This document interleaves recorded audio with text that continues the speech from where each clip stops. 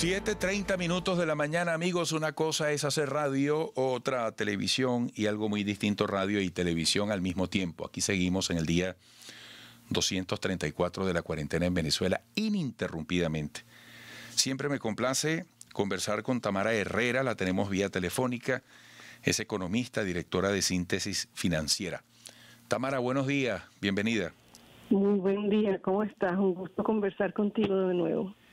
Igualmente, Tamara, ayer yo conversaba con el presidente de la Federación de Empleados Públicos, ¿no? Y él decía, entre otras cosas, que ya el HCM, eh, de, que, los protege, entre comillas, a ellos, eh, eh, apenas tiene una póliza de cobertura menor a un dólar. bueno, que ya no hayan que hacer, que ya no es posible el rebusque, que hay una importante migración Decía él que por lo menos en el sector privado hay que reconocer, se hace un esfuerzo por buscar bonificaciones en dólares, porque sabemos que la inmensa mayoría de los venezolanos no ganan dólares en una economía dolarizada eh, por vía de los hechos. Tamara, ¿hay alguna variante que tú puedas destacar con respecto a las condiciones actuales del trabajador venezolano? ¿La economía actual coloca al trabajador venezolano acaso un poco más cerca de la posibilidad de que algún día los salarios se puedan dolarizar, por ejemplo? Bueno, eh, si me pides una respuesta corta, te diría que no. Eh, la, todo, lo, todo lo que has enumerado y que se resume en una de, la, en, en la, una de las más graves manifestaciones de, de, que tenemos hoy en día, que es la debilidad de los ingresos, la, debilidad del poder adquisitivo, el hecho de que, bueno, el salario mínimo no quiere decir absolutamente nada ya, ya no es ni siquiera referencia para negociaciones de contrato colectivo, porque eh, porque es como absurdo un salario mínimo mensual que es inferior a un dólar eh, eh, si lo comparas al día de hoy.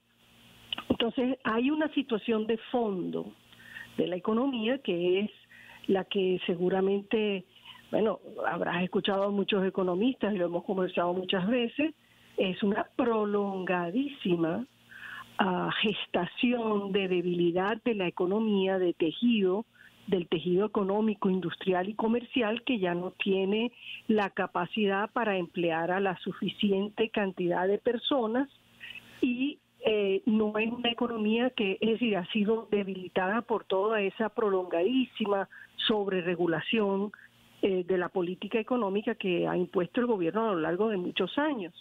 Entonces, eso debilita y eso debilita la generación de empleo, los ingresos, las empresas dependen de la demanda, y se adaptan a la demanda. Si la demanda se encoge porque el ingreso, es bajo, entonces la producción sigue bajando y hay un ciclo, digamos, una involución en una espiral hacia abajo.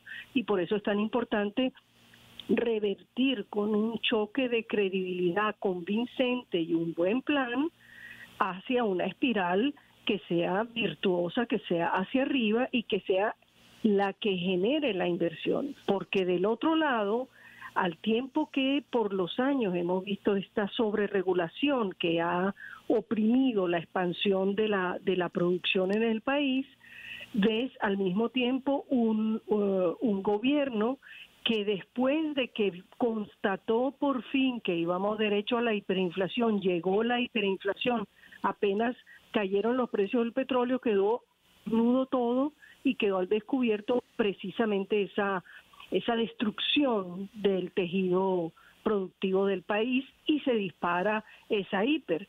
Entonces, esa hiperinflación ha sido por fin atendida tardíamente, pero además con una una batería de instrumentos que son de instrumentos de política económica que, que lo aplicaron con una crudeza fuertemente recesiva, o sea, que agravó aún más este problema de la expansión del crédito, de facilitar el funcionamiento económico y el gobierno mismo que mantuvo sorprendentemente rezagados y sigue manteniendo sumamente bajos los salarios de los empleados públicos, eh, indirectamente promovió la el deslastrarse de empleados públicos que fueron abandonando, así como fueron abandonando el país, reconociendo además, percatándose de que la hiperinflación había destruido todo lo que son las, las, las prestaciones sociales, eso ya no es aquel ahorro que podía tener uno porque la hiper era tan peligrosa era precisamente por eso, porque destruye absolutamente eh, todo el acervo de cualquier forma de ahorro que pudieras haber tenido. Entonces la pregunta es cómo salimos de eso. Eh, en este momento yo creo que si me, si me preguntas del mediano plazo, eh, bueno, no, no puedo ser, tengo que ser un poco escéptica porque si bien Ah, desde el 2019 hay como una debido a que el propio gobierno en sí mismo como sancionado tiene poco margen de maniobra, comenzó a dar margen de maniobra a las empresas para eh, para eh, trabajar conjuntamente y facilitar un proceso productivo, pero estás en una recesión muy profunda y es todavía insuficiente y no para levantar ese nivel de ingreso. Y la clave es esa demanda. Entonces, ¿qué vamos a tener en el corto plazo? Estamos en la proximidad estacionalmente de las, de las Navidades eh, y además de unas elecciones legislativas que tienen una importancia muy grande para el gobierno.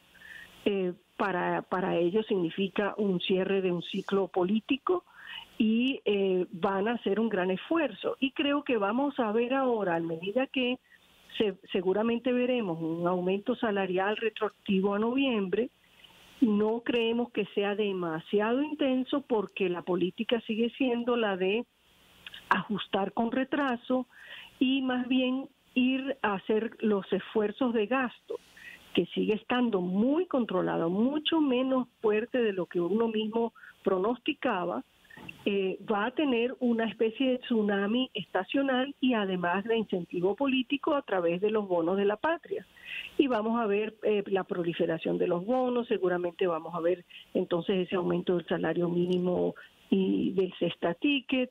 Entonces va a haber como una, un efecto eh, estimulante de corto plazo que va a estar muy vigilado eh, por parte del Banco Central de manera de estarlo contrarrestando para que no se vuelque a, a una demanda muy intensa de divisas, de dólares, que es el gran karma y es lo cual a este gobierno le va a costar toda la vida cambiar, que es que todo nuevo Bolívar va a estar buscando refugio en un dólar porque no hay credibilidad en la economía, en las expectativas.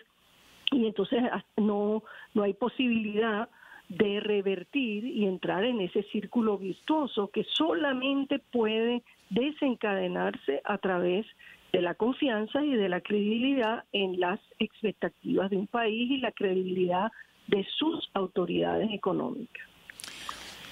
Revertir es la clave y tal como tú describes el entorno luce cuesta arriba, porque lo primero que hay que construir es confianza. Ahora, me queda un minuto, pero ¿qué viene entonces? ¿Viene una Venezuela cada vez más contrastada entre los que tienen poder adquisitivo y los que no tienen? ¿Viene más importación? Eh, ¿Vienen más productos importados que le estrechan los espacios a lo que se intenta hacer en Venezuela? Inevitablemente porque tiene el un doble efecto, eh, que es que eh, la, la, apertura de esas importaciones eh, tiene el incentivo para, para el gobierno de facilitar la adquisición de bienes dada la dificultad que hay además en condiciones de pandemia donde la actividad la actividad es inestable está reprimida nadie tiene eh, el empleo que, que debía tener hay empresas que han fallecido digamos en ese tránsito y ya este año pueden perderse 800 mil puestos de trabajo en, que están entre entre mediana y grandes entonces las importaciones son también un vehículo no solo de compensar eh, son, bueno, por supuesto, fuente de eh, negocios en algunos aspectos. Es una forma de no presionar producción en un país que tiene todo su sistema de servicios eh, inestable, en lo que precariamente puede sostenerse y cualquier reanimación económica puede estar generando estos descalabros a los cuales nos hemos habituado.